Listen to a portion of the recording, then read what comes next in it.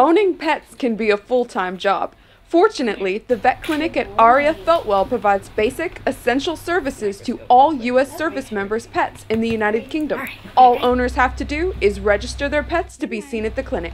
What we're here for, for as far as a person-owned animal mission, is just providing things like vaccines, keeping vaccines up to date, providing microchip plant implanting, also providing just services that uh, airmen and soldiers can, of course, travel with their pets during PCS time. The clinic primarily deals with dogs and cats, although they occasionally see guinea pigs and rabbits. Service members with pets who are entering or leaving the UK should make visiting the vet clinic a priority as a healthy pet makes for a happier owner. Reporting from RAF Lakenheath, I'm Airman First Class Amanda Sampson.